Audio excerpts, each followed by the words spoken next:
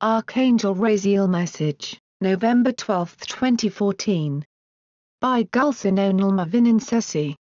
The times when you explore yourselves, remember your abilities are now leading you towards experiences.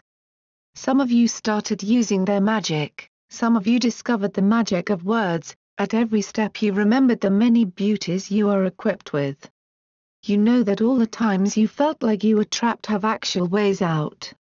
Your keys are one by one opening the doors you never had the courage to open before. Behind your doors freedom, behind your doors your truth.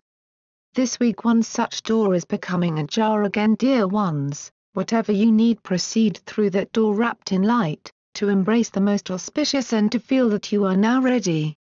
And let the energy of movement spread to your space, move you in the path of your hearts.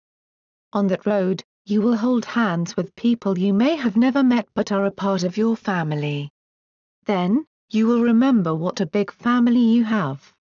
A huge family that supports one another, that opens their arms with love, talking with their eyes. Love and light. Archangel Raziel